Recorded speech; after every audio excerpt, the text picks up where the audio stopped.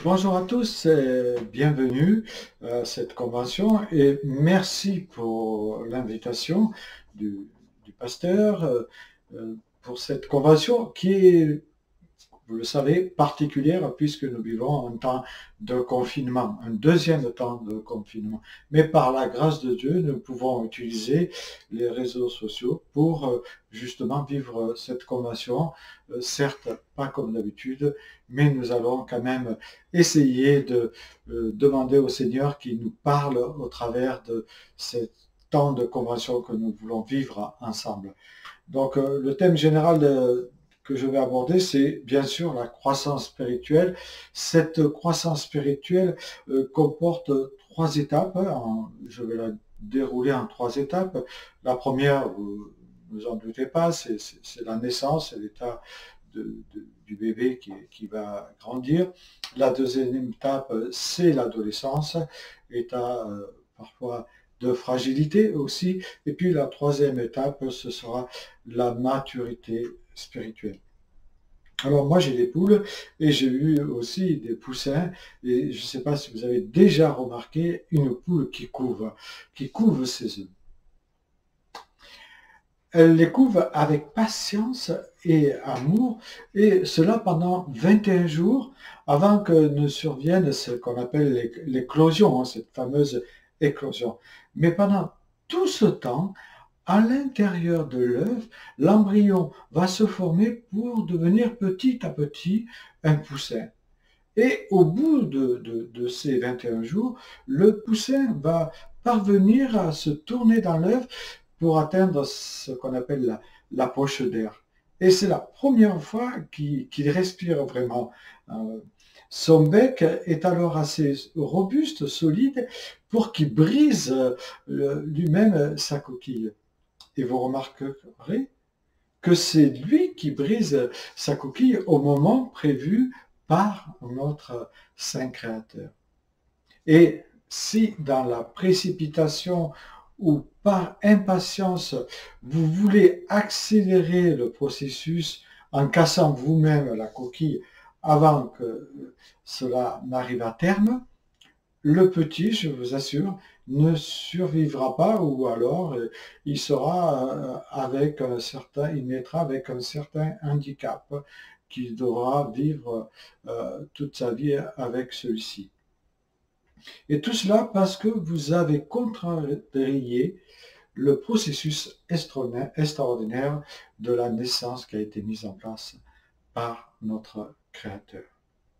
Et l'Ecclésiaste nous dit dans sa parole au chapitre 3, verset 11, Dieu fait toutes choses belles en son temps. Et c'est vrai que quand on regarde, que ce soit la nature ou les animaux, c'est extraordinaire.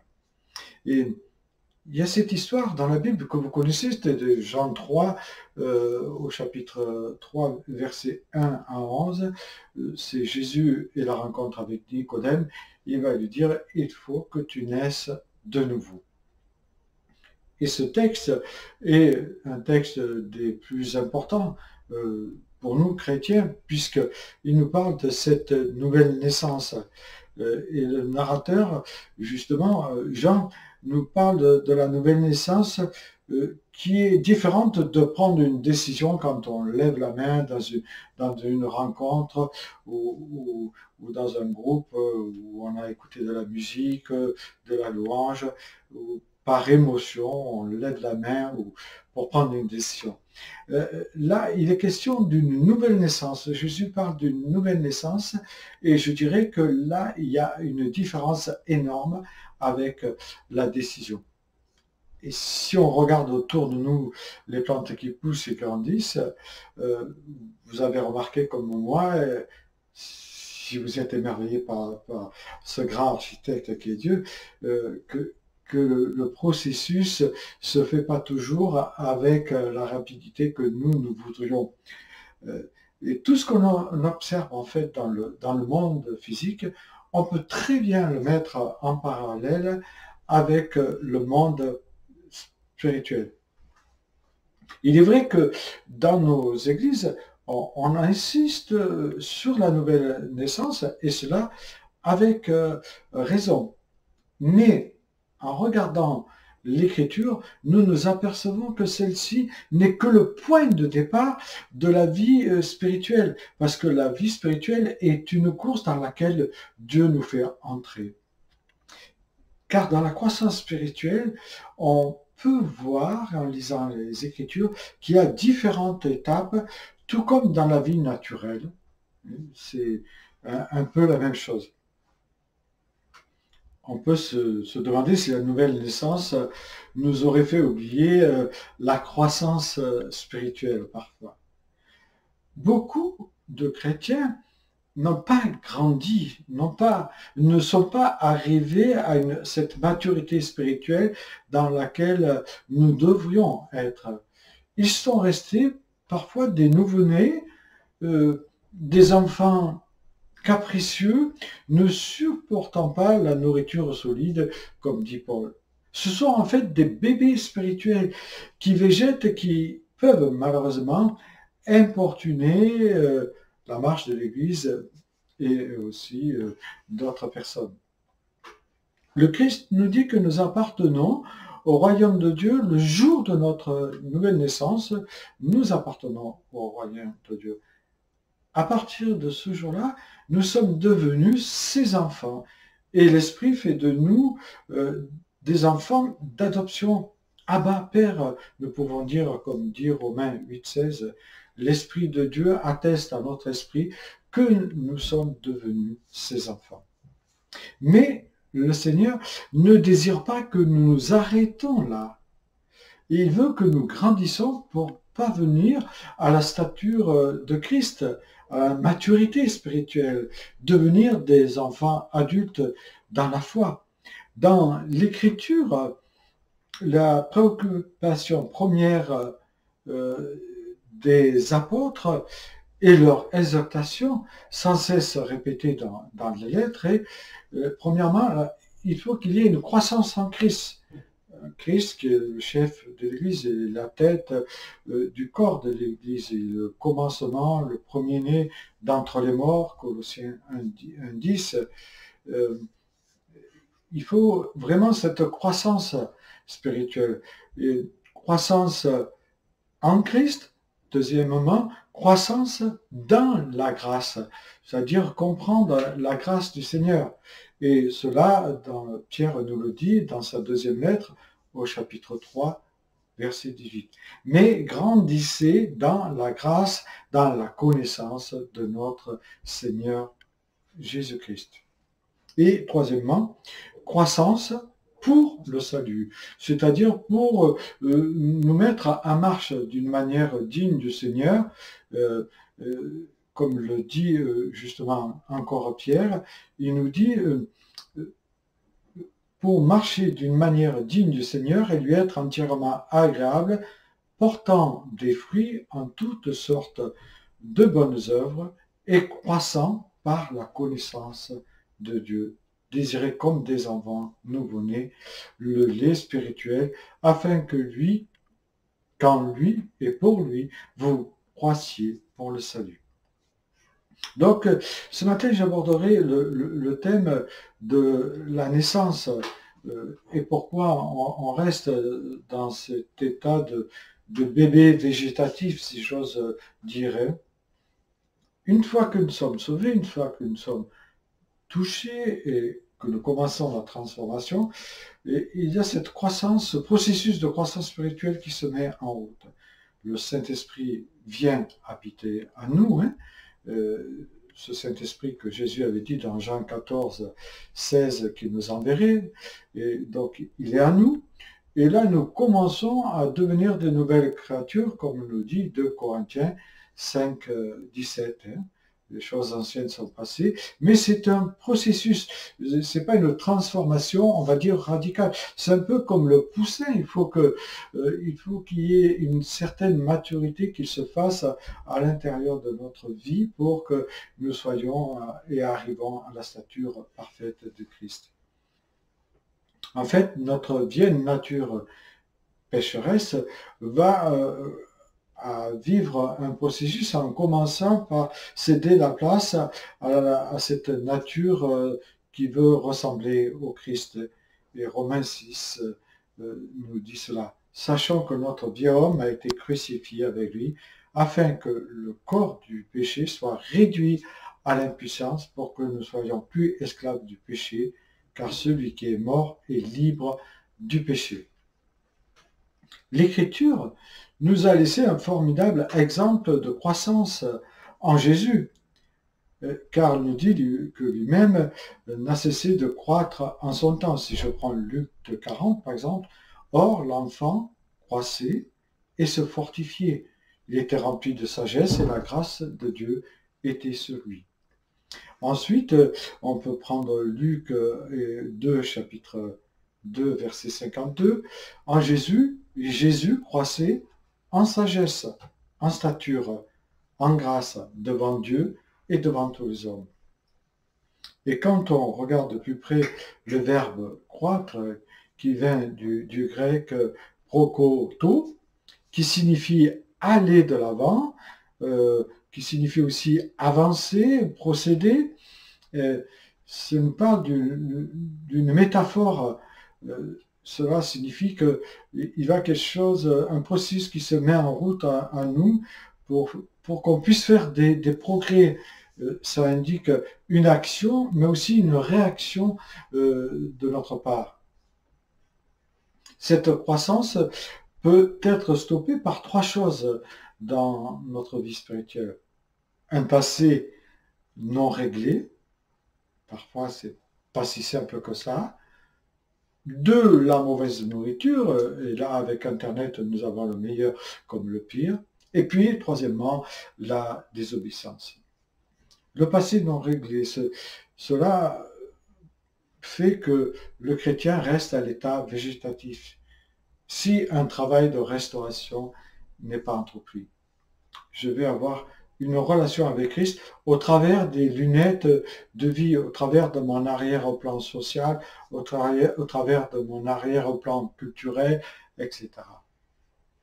Il se peut que qu'on soit né dans une famille euh, dysfonctionnelle. Tout le monde n'a pas la grâce de vivre dans une, de, naître pardon, dans une famille où tout se passe bien.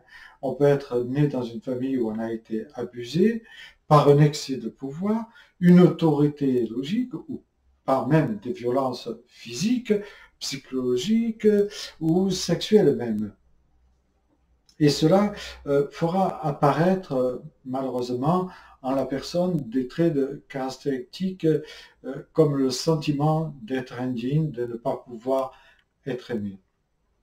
On sait très bien que le fait d'être témoin, par exemple, d'écrits ou des coups ou, d'en être victime marque et définit le ressort qui façonne le, dialogue interne de chaque personne.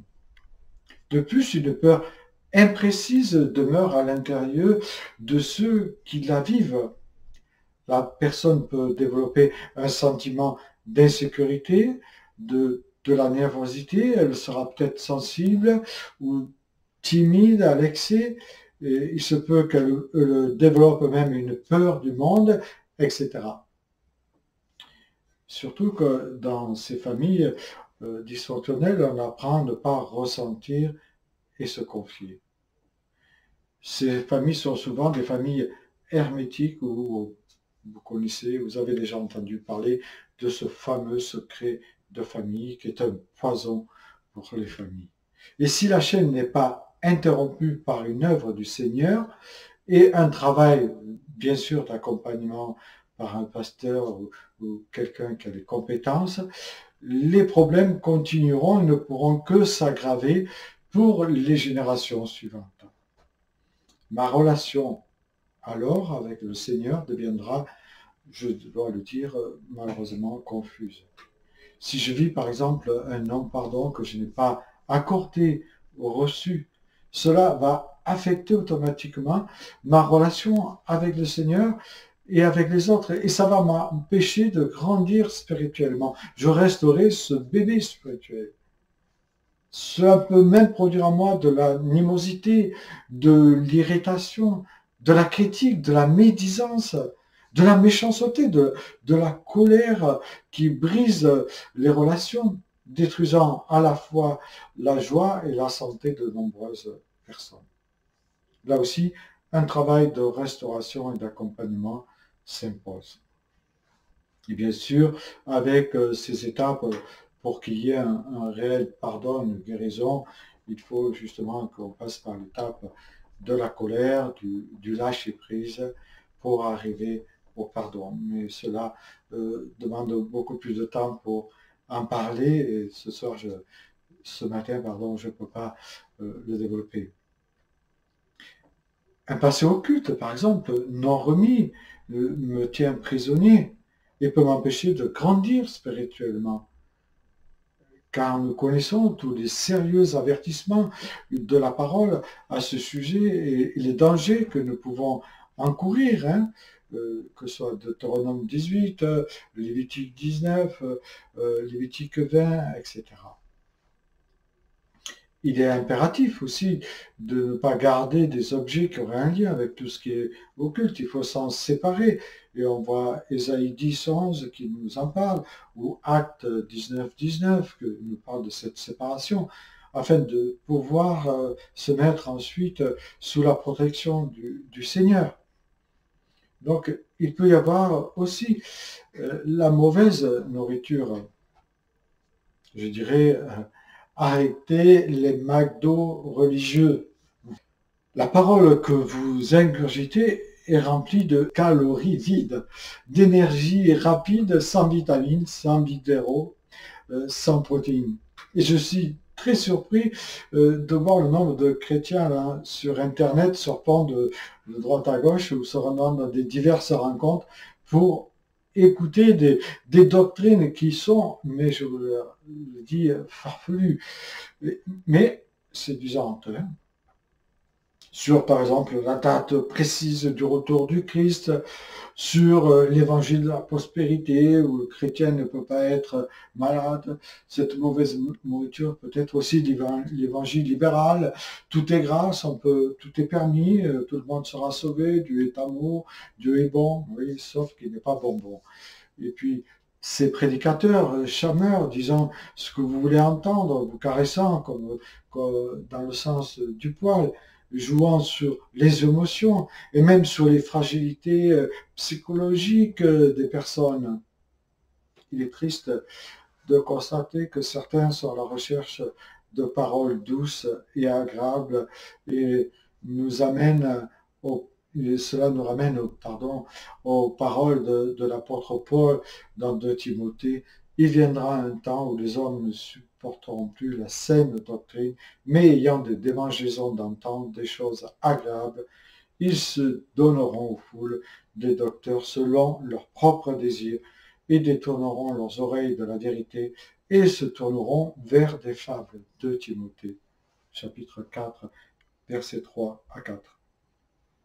En fait, ils construisent leur vie spirituelle sur de la paille et non sur des fondements, sur les fondements des apôtres, comme nous dit l'apôtre Paul dans Éphésiens 2.20, qui est la base euh, de l'œuvre de Dieu, où la croix est certes une folie pour ceux qui périssent, mais une puissance de vie pour nous, euh, dans un Corinthien.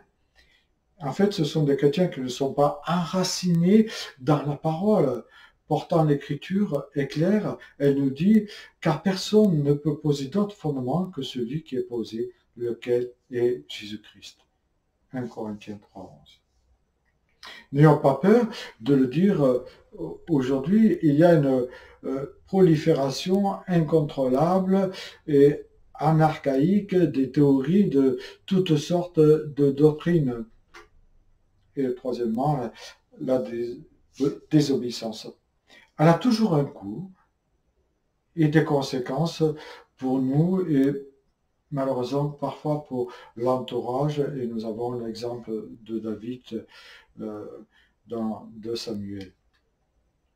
C'est une illusion de croire que notre désobéissance peut rester inconnue aux yeux de Dieu. Tout ou tard, Dieu lève le voile. Luc 8, 17, de Samuel 12. Le péché, malheureusement, ouvre la porte au diable. C'est comme une faille hein, dans, une muraille. Et malheureusement, nous finissons par attrister le Saint-Esprit, nous dit Paul dans Ephésiens 4.30. Et nous paralysons notre relation avec lui.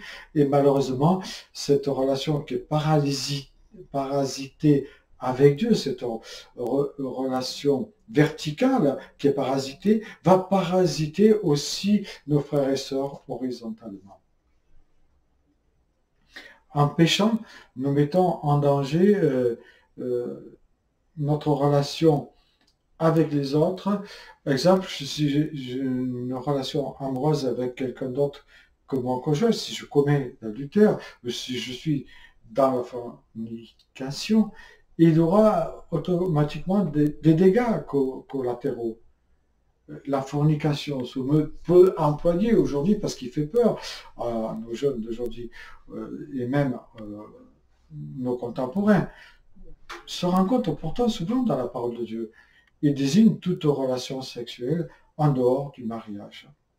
1 Corinthiens 7, 2 et, et 13, 4 et notre société, et malheureusement les chrétiens aussi minimisent ce péché, disons, oui, s'aiment.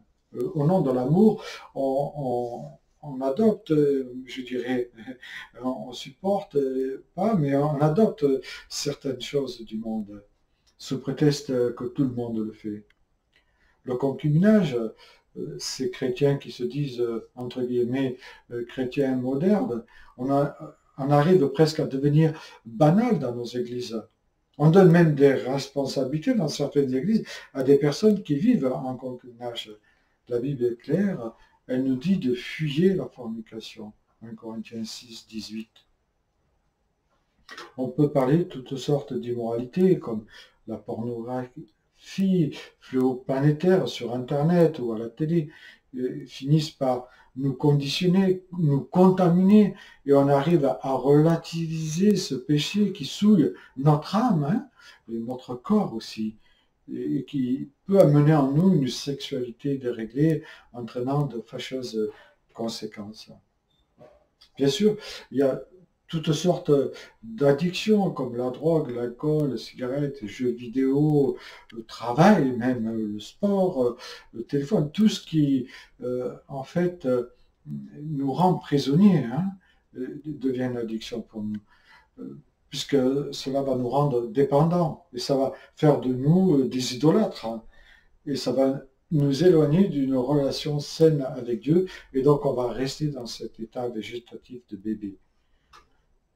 Tout est question d'équilibre dans la foi. Tout est permis, mais tout n'est pas utile, nous dit l'apôtre Paul.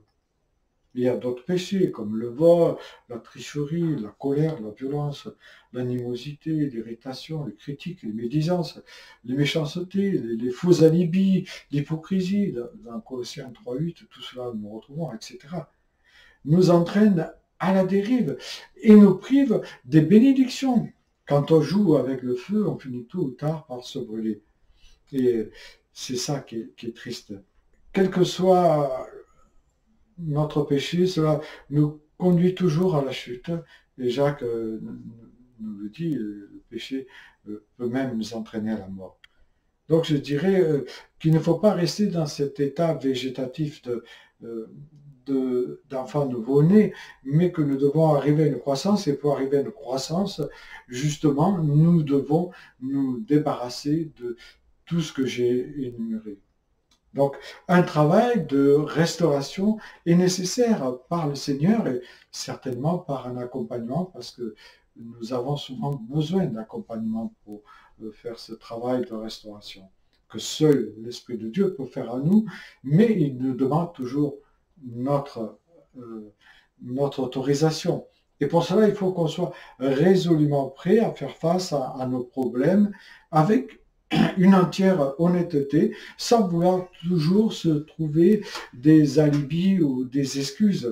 Non, il s'agit d'appeler un chat chat et un péché péché. Je terminerai avec vous euh, euh, cette première partie de, de ce thème de la croissance euh, spirituelle pour montrer que le chrétien peut rester dans cet état végétatif de d'être et de rester un bébé quoi spirituel, mais qui va euh, euh, créer beaucoup de problèmes dans l'Église et je pense au pasteur aussi.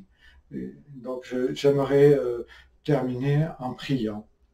Seigneur notre Dieu, nous te remercions parce que tu es ce Dieu saint, ce Dieu pur qui veut nous amener à grandir, ce Dieu qui veut nous amener nous-mêmes à te connaître davantage pour mieux te servir et pour être mieux équipés pour faire face à toutes les tentations, à toutes euh, les, on pourrait dire, les forces occultes qui sont là et qui peuvent nous amener à chuter.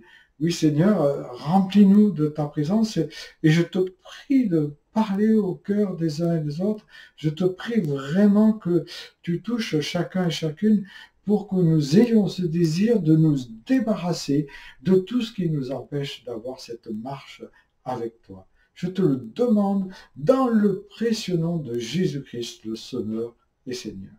Amen. Je vous souhaite à tous une bonne journée dans le nom de notre Seigneur Jésus-Christ. Amen.